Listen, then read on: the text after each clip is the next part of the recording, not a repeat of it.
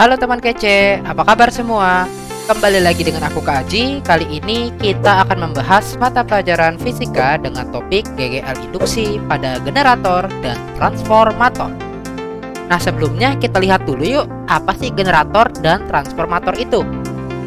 Jadi, yang namanya generator ini adalah alat untuk membangkitkan listrik ya Listriknya listrik apa? Yaitu listrik arus bolak-balik atau alternating current AC. Nah, generator itu bentuknya seperti apa sih? Generator itu bentuknya seperti ini, teman kece. Jadi biasanya ya ada magnet ya, magnetnya itu seperti ini misalnya. Ada utara dan ada selatannya. Nah, magnet ini kita sebut dia sebagai stator. Kenapa stator? Karena dia itu statis atau tidak bergerak. Nah, kemudian di sini ada kumparannya. Itu ada kumparan yang berputar. Kumparan ini kita sebut dia sebagai rotor. Kenapa rotor? Karena rotate atau berputar. Nah, nanti dari putaran ya, dari putaran si rotor ini akan tercipta yang namanya GGL induksi. Itu GGL induksinya ini tercipta berdasarkan prinsip induksi elektromagnetik. Berapa besarnya gegel induksinya? Besar gegel induksinya bisa kita cari dengan N atau jumlah lilitannya dikali B besar medan magnetnya A luas dari kumparannya ini. Omega kecepatan sudutnya dikali sama sin omega T.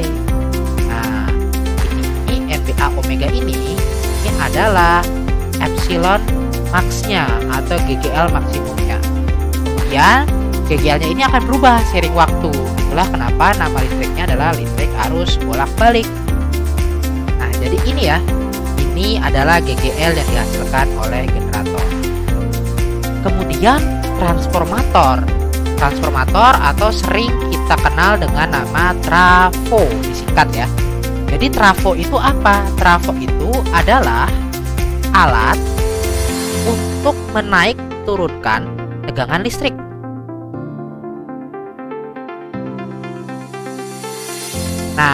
Bentuknya itu seperti ini. Biasanya kalau misalkan trafonya berupa step up ya, untuk menaikkan tegangan, itu jumlah lilitan primernya lebih sedikit daripada lilitan di sekundernya. Maka nanti tegangannya akan naik nih dari tegangan primernya kecil ke tegangan sekunder besar disebut dengan trafo step up. Kemudian kalau trafo step down, ya kebalikannya. Primernya kumparannya lebih banyak, sekundernya kumparannya lebih nah, ini disebut dengan trafo step down.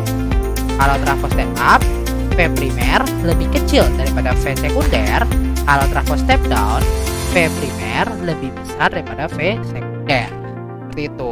Nah, hubungan antara V primer sama V sekunder itu juga sebanding dengan jumlah lilitannya lilitan primer dan lilitan sekundernya nah kemudian tidak semua trafo itu efisien. Jadi kadang-kadang dalam memindahkan energi dari primer ke sekunder ya dia bisa aja tidak efisien 100% jadi ada rugi-rugi dayanya. Nah karena ada rugi-rugi dayanya, maka akan ada efisiensi dari si trafonya gitu. Efisiensi itu apa sih? Efisiensi itu adalah perbandingan daya di sisi sekunder dibanding sama daya di sisi primer gitu. Biasanya dinyatakan dalam persen, makanya dikali dengan 100 persen. Seperti itu. Nah, biar makin paham, Yuk kita coba lihat contoh soalnya.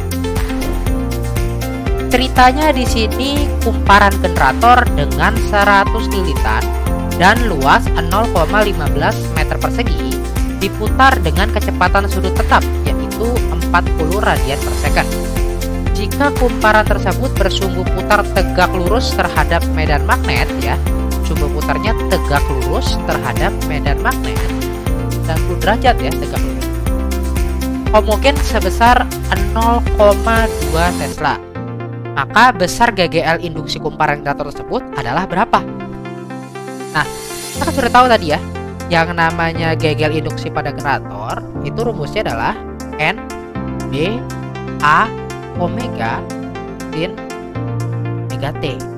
Nah, omega T ini sama aja dia dengan tetanya. Itu tetanya atau sudut antara medan magnet sama kumparannya. Itu suhu putarnya. A, tinggal masukin aja angkanya. N-nya berapa? N-nya 100. B-nya berapa? B-nya 0,2 Tesla. A-nya 0,15. Omeganya adalah 40 radian per second. Tin 90 derajat ya. Tin 90 derajat. Kenapa? Karena tegak lurus.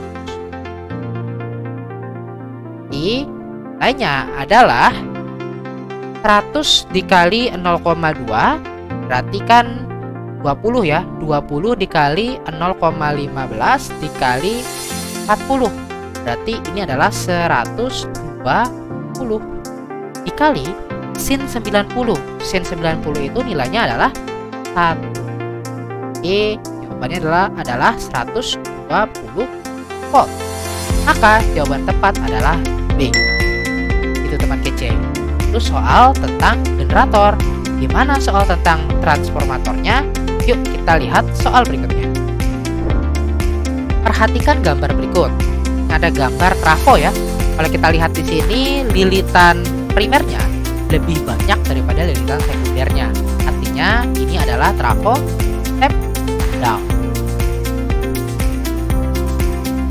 Sebuah trafo step down mengubah tegangan 100 volt menjadi 40 volt. Berarti nanti di sininya itu di primernya itu 100 ya, di primer 100 volt, di sekundernya 40 volt. Jika kumparan sekunder dihubungkan dengan lampu yang memiliki spesifikasi 20 volt, 18 watt, dan efisiensi trafo adalah 80%, maka kuat arus yang terukur pada ampermeter dan kumparan primer adalah berapa miliampere. Nah, pertama teman kece, kita harus cari dulu kita harus cari dulu. Si lampunya ini mengkonsumsi daya berapa? Kan daya 18 watt ini ketika dia 120 volt ya. Ketika tegangan 120 volt. Sementara sekarang tegangannya bukan 120 volt. Melainkan tegangannya adalah 40 volt itu nah kan kita tahu yang namanya daya itu ya. Daya itu adalah Kuadrat dibagi sama R dan yang namanya lampu itu R-nya akan selalu sama. Berarti kita bisa bandingkan P sebanding dengan V kuadrat. Nah, kalau kita mau cari berapa P di sekundernya ya, maka kita bisa cari dengan persamaan P1 banding P2 sama dengan P1 kuadrat dibanding P2 kuadrat. P1-nya adalah 18 P2-nya yang mau kita cari. Sama dengan V1-nya adalah 120 kuadrat ya tegangan awalnya dibagi 40 kuadrat. A dari sini kita bisa dapat berapa nilai dari P2-nya. Itu ya. Berarti ini bisa kita sederhanakan nih, teman kece.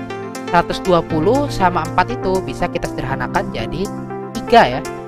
Kita sederhanakan jadi 3 berarti 18 dibanding P2 sama dengan 3 kuadrat.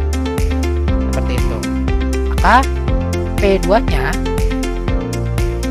P2 nya adalah 18 dibagi sama 3 kuadrat atau 18 dibagi sama 9 jadi 2 kita dapat daya di sini adalah 2 watt seperti itu nah tapi 2 watt ini bukan daya di primer. Kenapa bukan daya di primer? Karena trafonya tidak efisien 100%. Gitu. Jadi daya di primer ini harusnya lebih besar. Ingat tadi apa itu efisiensi? Efisiensi adalah perbandingan antara daya di sekunder dibanding sama daya di sisi primer. Kita tahu efisiensinya 80% atau 0,8. 0,8 ini adalah perbandingan daya di sekunder yaitu juta ya dengan daya di primer. Ini adalah yang mau kita Berarti daya primer adalah 2 dibagi 0,8 ya. 2 dibagi 0,8 adalah 2,5 ya 2,5 watt adalah daya di primer nah terakhir kita cari deh berapa arus di primer. Karena yang ditanya di sini adalah arus yang terukur pada ampere meter ampere meternya ada di primer. Jadi kita tahu kan yang namanya daya ya daya di primer itu adalah tegangan di primer dikali sama arus di primer. Berarti arus di primer besarnya adalah daya di primer dibagi tegangan di primer. Daya di primernya berapa? Daya di primernya tadi kita sudah cari yaitu 2,5 watt dibagi tegangan di primernya adalah 100 volt. Gitu. Ah, hasilnya adalah 0,025 ampere atau sama juga dengan 2,5 mili ampere. Maka jawaban yang tepat adalah yang B. Begitu teman kece. Nah sekarang biar kamu makin paham, yuk coba kerjakan soal yang Jangan lupa tulis jawabanmu di komentar ya. Gimana teman kece? Gak susah kan? Jangan lupa like, komen, dan subscribe ya, biar gak sendirian. Lihat juga latihan soal yang lain di kejarcita.id. Download aplikasi Kejar Cinta yang sudah tersedia di Play Store. Kejar Cinta, kejar ilmu, raih.